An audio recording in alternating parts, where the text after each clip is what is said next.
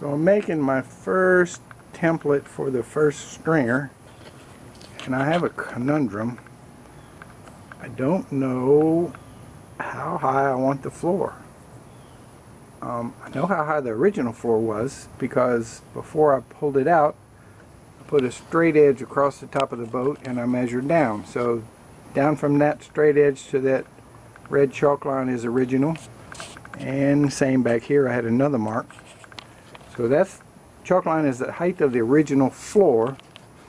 And I've been planning to make that the height of the stringers which would make the floor probably an inch and a half higher than it used to be. Um, you know lower is better because you lower the center of gravity but I'm not gaining much by making it lower. H higher is better because the water will drain out the back of the boat a little better. Um, it's a, everything's a compromise. And I've never seen the boat in the water. I don't know how it floats. So the worst thing that could happen would be the water would pond on the floor in the front of the boat and would not go to the back. That would be the absolute worst thing that could happen. So what I'm thinking about doing is just raising that front a little bit and gaining maybe an inch higher than a projected line would normally be now see there was no floor in the front because it had that little cuddy cabin up there so this is all new territory. Um, but I know back in the back the chalk line, the original floor, right now is uh, quite a bit higher than the two scupper holes that drain the back deck. Um, I think my plan to make the stringers the height of the old floor and maybe kick the front up a little bit and then the new floor will be about three quarters of an inch above the top of the stringer if I use three quarter material. So um, this is a tough decision here because once I make it I'm done. But I think that's what I'm gonna do. I think I'm gonna go with the uh, I think my plan will be to make the stringer in the back as high as the original floor. And that'll make the, the new floor about an inch higher almost and up front, I think I'll pick this chalk line up maybe a quarter, maybe a half, which by the time you project it all the way to the front of the boat will make the floor up there maybe two inches higher than the floor in the back. But that's all based on how the boat's sitting in the cradle. I don't know how it'll sit in the water. Um, man, I think the boat's going to be lighter than it was originally. I know the the one single engine I'm going to put back there doesn't weigh as much as the two 90s that came on the boat. Although it'll be on a motor bracket so it'll be sticking out further back so we'll get a little complication there. But I got to go with something. So uh, yeah, I might raise this a quarter in the back and raise it a half in the front and go with it. So I drove to New Orleans this morning and got four sheets of Divinycell, which is the primo product for making stringers. I got my template laid on it. I added a quarter inch to the very back and I added a half inch to the front and I marked it. And I got to figure out how to cut this stuff. It looks like I could almost cut it with a knife. We'll see. So I cut my first two pieces of Divinycell. And they're identical and with just a little shaving and uh, fritzing they went in there just right. I checked my dimensions down from the um, cap rail and we're good. And I put a four foot level across the two and we're good. So I'm doing a dry clamping mock-up. This is going to be kind of tricky because I've got to put um, polyester on the existing fiberglass and I have to bed in some chop mat and then I have to put polyester on the Divinycell and then I have to put thickened polyester in the bottom. And then I have to get it all clamped before it sets off. So I'm kind of like nervous about this. But this clamp with the 2x4 on one side is not working because the um, this clamping system is not working because the, the glass is still loose between the clamps. So I'm going to take out the 2x4s and cut some plywood so I'll have three quarters of an inch on both sides and try that. I got to get it right before I start because this is a, a big deal if I get it wrong. Okay, everything's fitting good. I got a good clamping system. I had to add these struts because it wasn't standing up vertically. It wanted to lean in toward the middle of the boat. I'm good to go, but I'm not going to apply polyester resin today. It's just too freaking hot. Heat index over 100. I'm to uh, get some ice and put it in the ice chest and cool it down and go for this first thing in the morning. This is like the biggest two glues I have to do and I don't have a learning curve so I'm being kind of careful. I'm to spend the rest of the day cutting the and fitting the next two pieces of the Divinycell.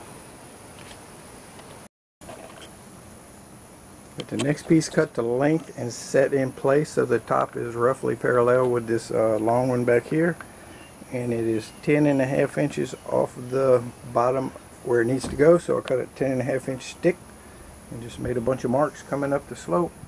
I'm go cut it, bring it back and give it a try. So we got an acceptable fit on the bottom. And for the top, so for the top I just took this aluminum straight edge and extrapolated this line out toward the front. So I got a pattern for that side and I'm going to cut a mirror image for the other side. Should be close. So it's early Saturday morning and I think I have everything ready to do my first major glue up. There's a lot to do and this stuff sets pretty quickly so I want to do it early. I've got the uh, resin and ice water. I think I've got everything ready. Um, so it's going to be a, nervous one hour from daybreak. So my goal here is to get plenty of resin between the new foam core and the existing stringer. Um, I want to make sure I have good contact and no big voids. So I could have done that by thickening the resin with a thickener and troweling it on there, but that wouldn't have given me any more strength. And these existing stringers are so thin.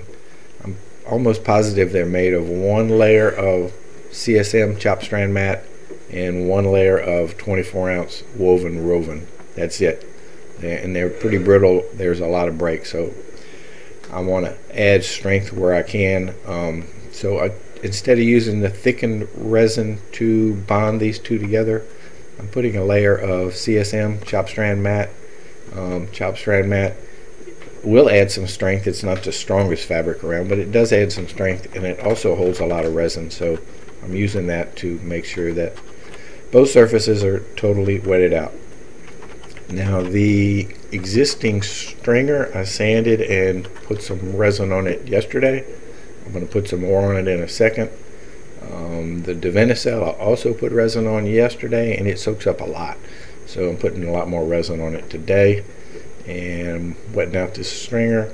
I'll put some resin down in the crack and I'm going to put some thickened resin in the, there in a minute and you'll see it.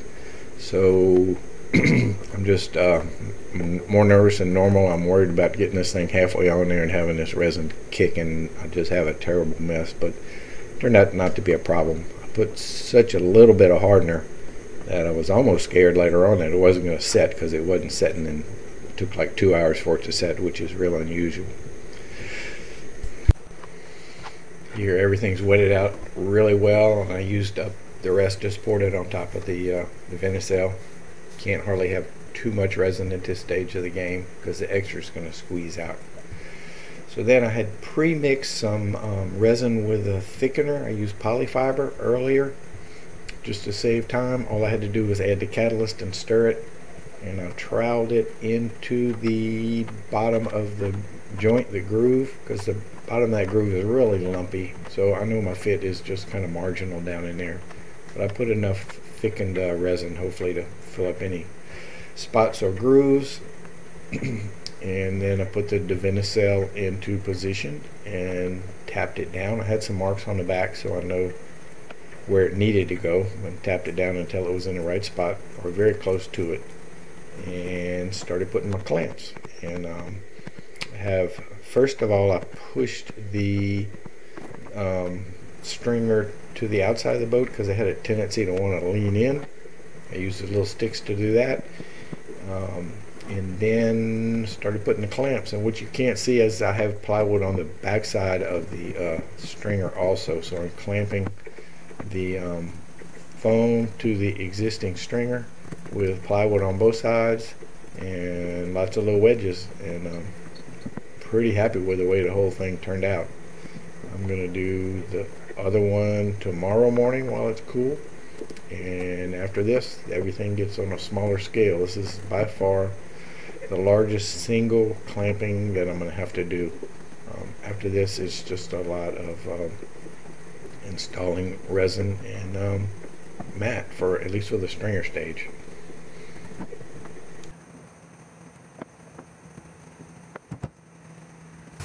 Well, I'm not to lie, I did get a little nervous. I, uh, I put very, very little hardener in it this morning because of my panic about not getting it all together before it starts getting hard.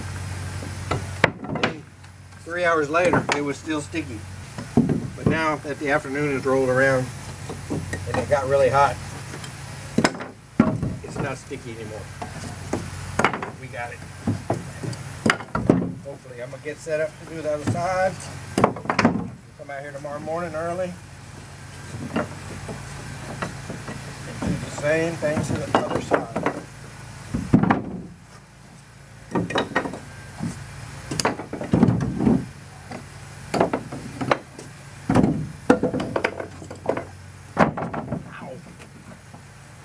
What I'm talking about. Nice and straight. Plywood coming off the back.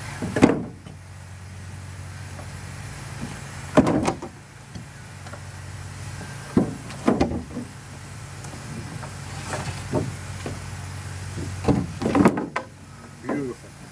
Just beautiful. So I hope my camera's working right. It was messing up the other day. But anyway, I just glued my fourth uh, section. And now I need to come over here on this second stringer and open it up. I'll cut the top off and then I'll cut it about an inch above the floor and get the interior of the FRP, the laminate off. And I'll have to cut back that little bulkhead a little bit. And I don't have enough resin or laminate on hand to start laminating the outside of these. I wish I did. But I do have enough to set probably two more pieces of Divinycell. So we'll get this side uh, cleaned up, cut up, and ready to go.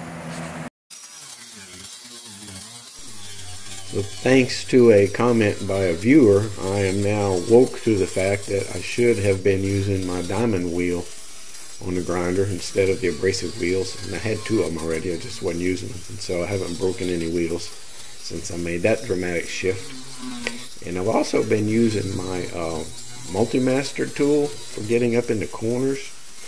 I've been watching YouTube videos of people doing this for a long time and I've never tried it, but it actually works pretty good. It's not fast, but it'll get all the little bitty spots that the grinder won't get into and just save you a lot of, lot of work.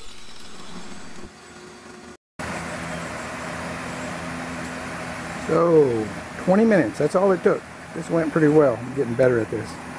Um, I've got the glass cut out the way, so all I need to do is dig out the muck and sand that inside surface of that existing glass.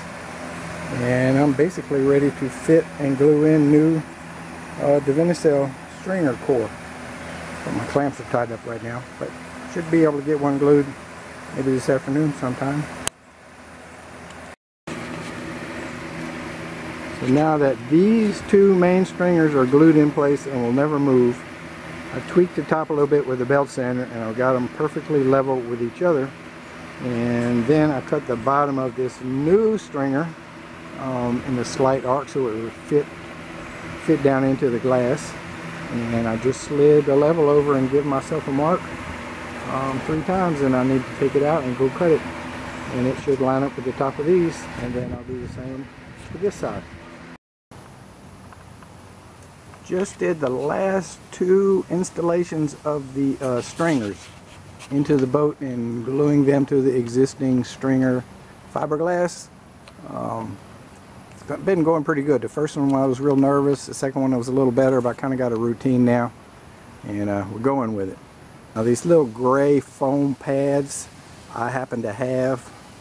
My tenant in my little rental building deals with insulated glass And these things, insulated glass comes wrapped with these, and he throws them away. And I always have a few of them laying around. And they're awesome for this because that stuff is real itchy. So when I lean on it with my forearms, um, it keeps me from tearing up my forearms. It also protects the edge of the uh, Divinycell a little bit because it's not super strong yet. It doesn't have any glass on it. In a perfect world, I would have glassed, fully glassed, both sides of both of these stringers so they would act like a beam and the glass would not be interrupted by the bulkheads. But I don't live in a perfect world. I live in Barry Luke's world and I don't have enough glass on hand. And I didn't want to stop forward progress, so I just glassed the spots where the bulkheads were going to hit.